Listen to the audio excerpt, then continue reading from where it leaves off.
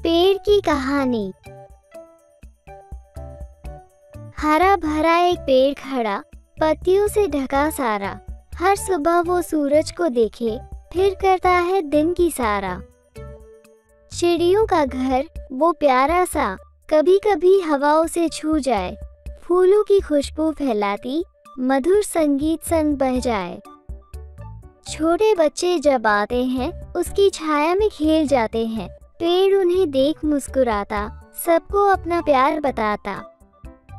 पेड़ कहता है, सुनो बच्चों, मुझे हमेशा हरा बनाए रखना। मेरे संग ये दुनिया सुंदर, तुम्हारे साथ इसे सजाए रखना।